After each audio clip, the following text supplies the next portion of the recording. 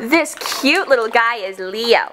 He is a six-month-old pit bull terrier, so he is gonna get bigger. Like most young dogs, he is full of that playful puppy energy. He loves to run around and meet everyone. He's a very friendly guy. He'll crawl right in your lap for some attention, give you kisses. His tail is always wagging. Just a very friendly puppy.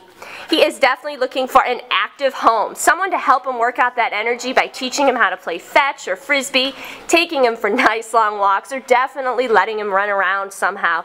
He's just such a playful, happy guy.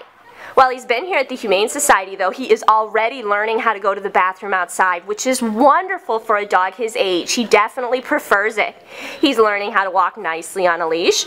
He could use some additional training in his new home, like most young dogs, but as you can see, he even already knows how to sit for treats, and he takes them gently, so he seems to be very smart, very trainable, and already on his way to becoming a wonderful pet.